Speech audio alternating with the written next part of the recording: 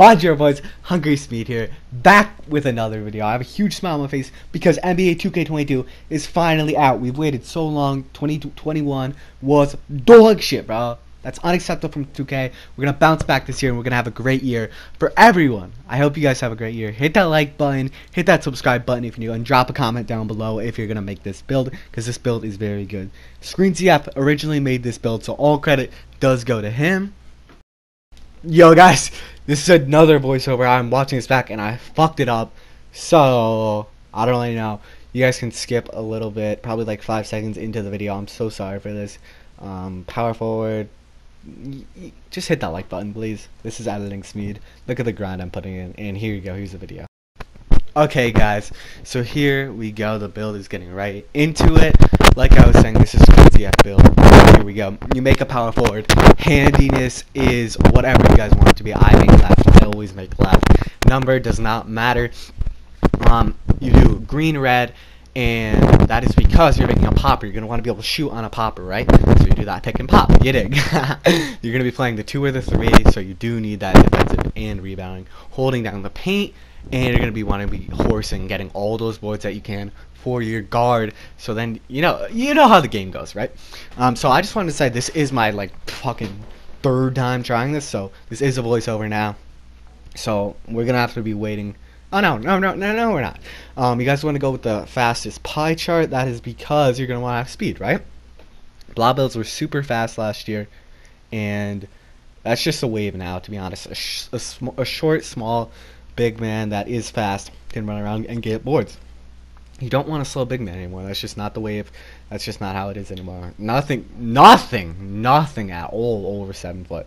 So yeah, you get that 71 speed. That is really good for you. You don't really need much strength. 57 is very, very low for a big man, but that's okay.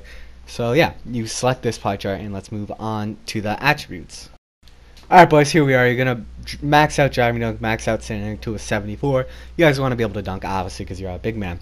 Max out that mid-range, max out that three-point. Free throw goes up to an 86, I believe. Uh, 87, okay. Then you have 19 shooting badges when you're done with this. You don't need post-fade. Because you really don't need those extra badges, like 20, whatever that was, 22 or 21. That really is just, you don't need enough. And this build does only get gold, red, uh, gold defensive badges. So here we go, six playmaking badges once you max out your pass accuracy and you put your post control up to a 62, is that 82? Nah, I think that's a 62.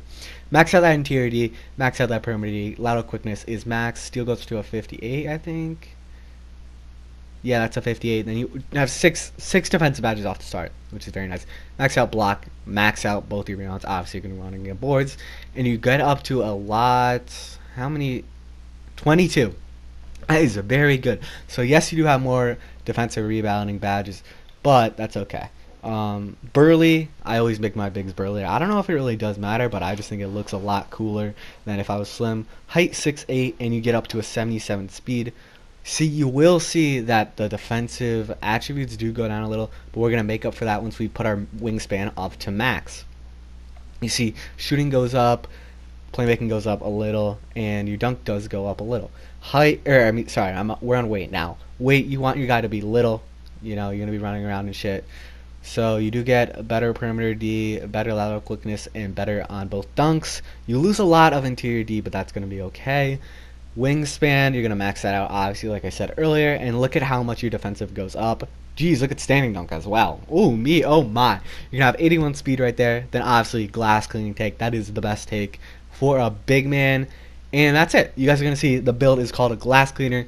So that's going to be it for the video, guys. Hit that like button, please. Hit that subscribe button if you're new. I know we're going to have a lot of new viewers who are going to be looking up best build, best big man build, best 2K22 build.